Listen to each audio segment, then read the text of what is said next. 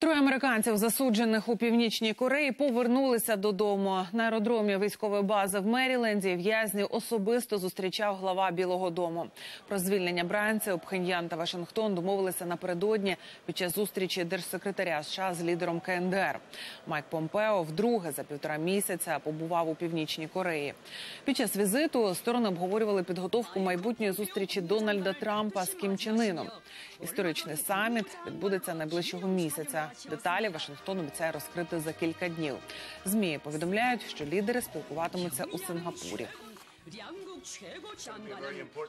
Це надзвичайно важлива подія. Ніхто не думав, що така зустріч стане можливою в найближчі десятиліття. Вона піде на користь північній та південній Кореям, а також Японії. Дякую лідерові Китаю Сі Цзіньпіну. Два дні тому він допоміг нам у надзвичайно особливій справі.